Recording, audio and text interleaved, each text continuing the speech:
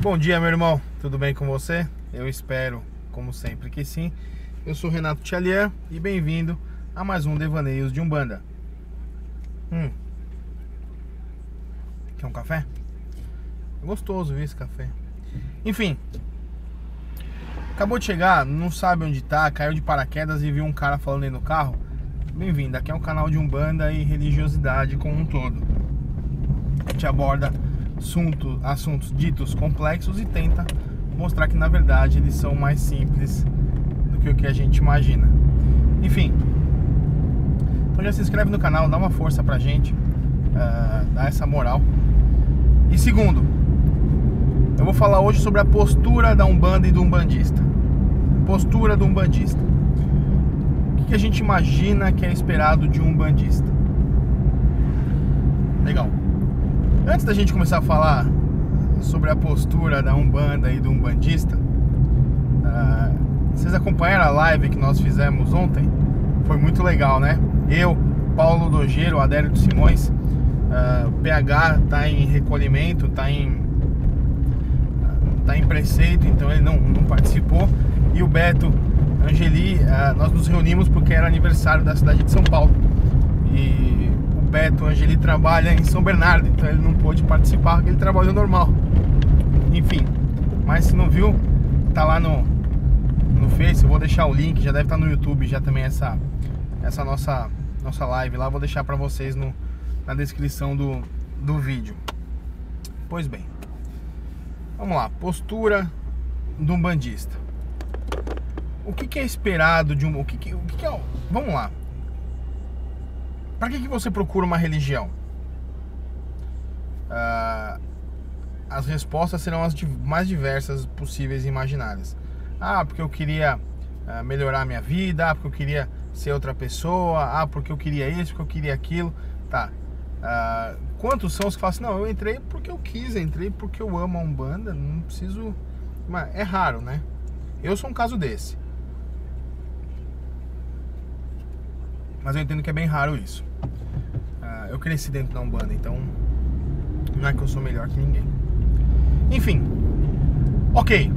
Então, dito isso, você entrou na Umbanda você dá o seu melhor, você entrega o que você tem de melhor no momento da gira, perfeito?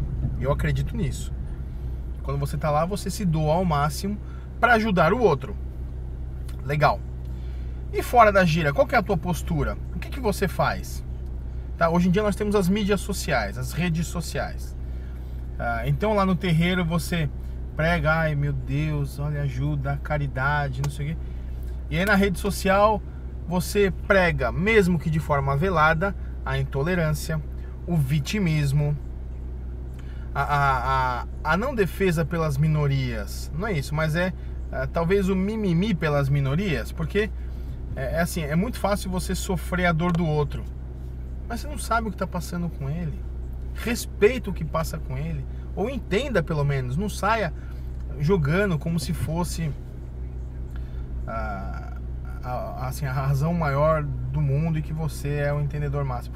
Enfim, a Umbanda prega a tolerância, o respeito, o bom senso, a responsabilidade, a evolução evolução permanente. A Umbanda pede que você se encontre com você mesmo.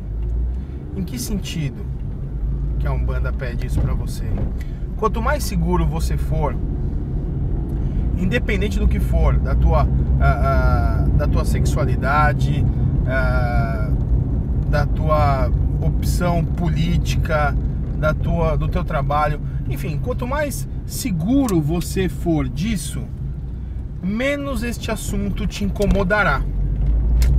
Tá? Então vamos, vamos entender isso daí. Ah, então. Tá, então esse que vos fala aqui tá um pouquinho acima do peso. Aí das duas, uma. Ou eu entendo isso e eu mudo, ou eu falo, eu simplesmente não ligo e deixo como tá e tudo bem.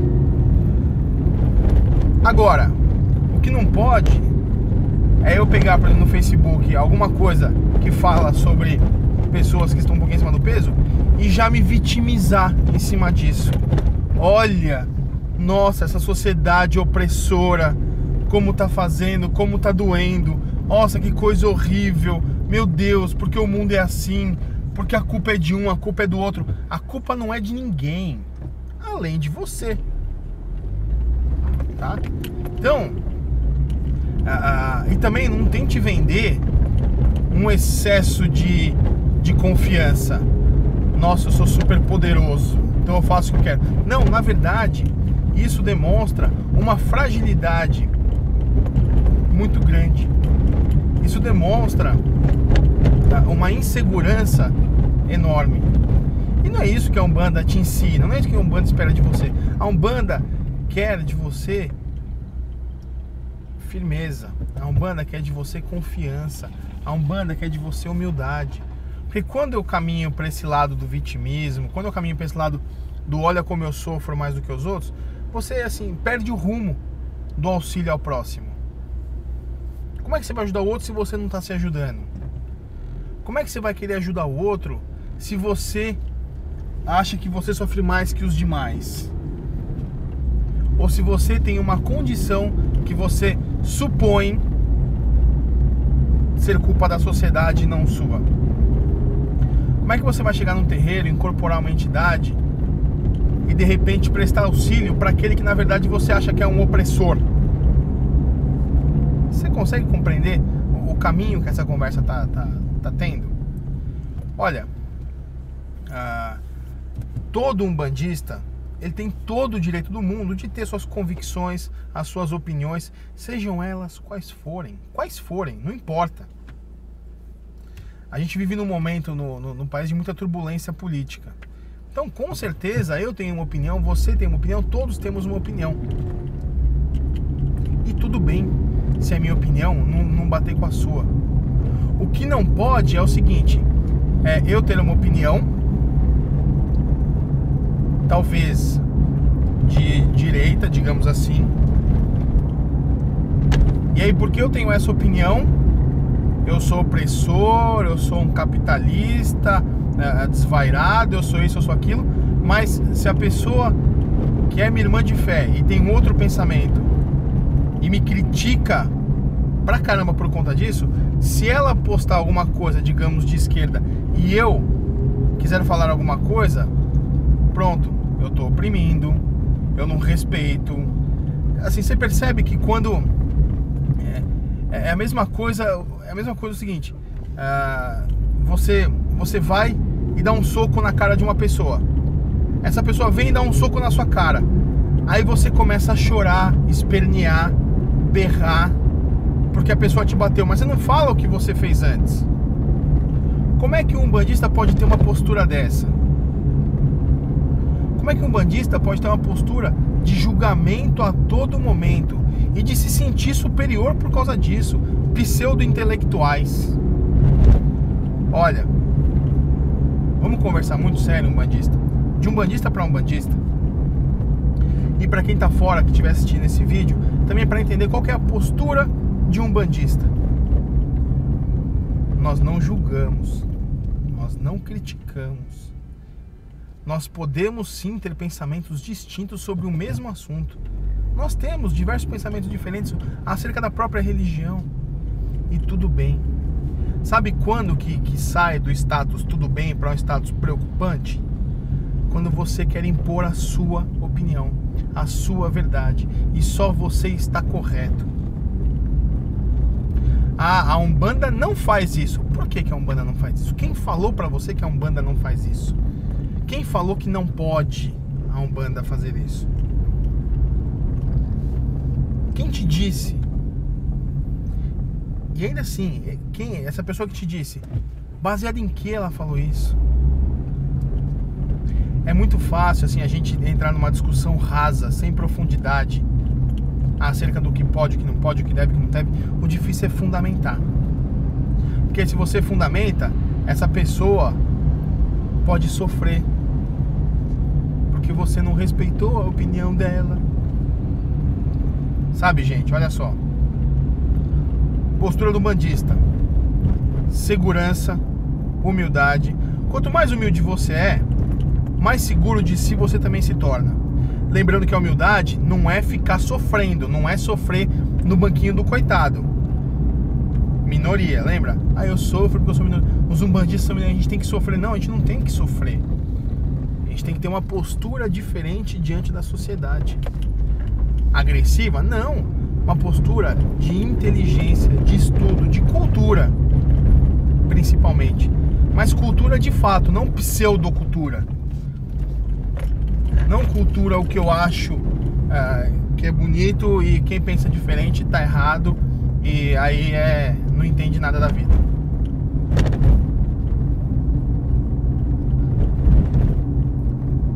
Lembrando que uma entidade quando vem a Umbanda, quando vem trabalhar numa sessão, a entidade não vai falar de política, de economia, né? Não cabe à entidade falar isso. A entidade tem muito mais o que fazer do que ficar pensando na Dilma, no Temer ou coisa do tipo. Então, para você, meu irmão bandista, incorpore os valores da tua entidade. Vá embora de fato com aquilo em você. Ai, Renato, você tá falando que eu não faço isso? Não, não tô falando que você não faz isso. Eu tô falando que talvez você não compreenda o que a entidade tenta te passar. Por quê? A tua entidade com certeza não vai falar para você julgar, para você criticar, para você achar que compreende mais da vida do que o outro. E o respeito, ah, o respeito é uma coisa fundamental. Por quê? Ah, você gosta de pedir respeito com a sua umbanda. Lembrando que a sua Umbanda é a mesma Umbanda de todo mundo, a Umbanda é uma só. Antes de você supor que aquele teu irmão fala alguma coisa que é uma extrema bobagem porque você não concorda, e sair falando que que é marmotagem, que atrapalha a religião, que isso, que aquilo, busca saber um pouquinho da história desse irmão antes de falar a groselha. E por que eu digo tudo isso? Porque isso causa a nossa desunião. E de verdade, a última coisa que a Umbanda precisa agora é de desunião. A Umbanda precisa de, independente das diferenças econômicas, políticas, de, de postura relação à sociedade, a Umbanda precisa de união entre os irmãos. União entre os irmãos. Respeitando as diferenças somos todos filhos, filhos de um mesmo Deus. Então, meu irmão bandista, tenha isso em mente. Trabalhe isso em você. Não tenha a arrogância, não tenha a prepotência. Porque na verdade o vitimismo ele é tudo isso, porque assim, eu posso falar, eu posso fazer, mas ninguém pode ir contra o que eu estou falando. E ninguém pode fazer. Só eu. E aí, você que de repente é um dirigente, um bandista, que tem essa linha de pensamento, o que, que você passa para os teus filhos? Você cria uma série de robôs para pensar igualzinho você ou você dá liberdade para que eles trabalhem a vida deles, para que eles tenham opinião própria, que seja diferente da sua, se for o caso. Hein? O respeito é isso. Eu amo meu pai. Incondicionalmente. Com os acertos, com os erros, com tudo. Porque eu também tenho erro, eu também tenho acerto. Pensamos diferentes uma série de coisas. Mas por quê? Porque ele me criou para pensar. Ele me criou para estudar. E você me falou, Renato, o estudo muda o mundo. Vai atrás, corre atrás. Não se contenta com o raso. Busca fundamento. Perfeito. Isso me levou a tirar conclusões diferentes da dele de alguns assuntos e ainda assim somos pai e filho. E eu amo ele incondicionalmente. Com o dirigente espiritual é a mesma coisa. Crie os teus filhos. Você é referência mas crie eles para que eles pensem, que eles tenham condição de tirar as próprias conclusões. Tenha certeza que mesmo diferente da sua, eles vão te amar do mesmo jeito, você é o pai espiritual deles. Agora, se você os cria para ser robô, algum motivo deve ter. É medo de perder a liderança, é, é medo que algum filho teu abra uma casa e isso não pode, só você tem essa missão né, do astral divina e ninguém mais pode ter. É, assim, vamos, faça uma reflexão, tá? Gente, para um bandista não cabe ódio, rancor, mágoa, arrogância, prepotência ou qualquer outro sentimento que seja nocivo à mediunidade dessa pessoa. Tá? Cabe entendimento, compreensão, perdão, respeito, afeto, carinho, caridade. Isso cabe para um bandista. Tá? Então, repense um pouco a tua atitude, assim como eu todos os dias repenso a minha atitude. Tá? Todos os dias eu reflito o que eu fiz de certo, o que eu fiz de errado, onde eu posso melhorar, o que eu posso fazer. Faça isso também. Fica a reflexão. Espero que te seja bem útil isso. Uh, e se você está aqui até agora assistindo, mostra que você tem vontade de mudar, de que você pelo menos respeita a minha opinião e isso por si só já é nota 10. Agora, se você já se você supôs, né, se serviu a carapuça e você já desligou achando que eu não sei nada, não posso fazer nada. Tá? Meu irmão, o assunto hoje era um, uma conversa, um pouco desabafo. Então, é, minha gratidão a todo mundo que, que assiste, que compartilha, que valoriza o nosso trabalho que dá uma oportunidade de, de que eu entre todo dia na tua vida, na tua casa de alguma forma. Tá?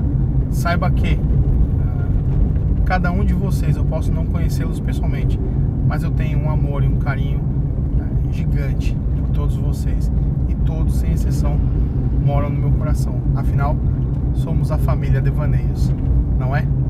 Então, meu axé, meu saravá, um grande, um grande, um grande um grande abraço.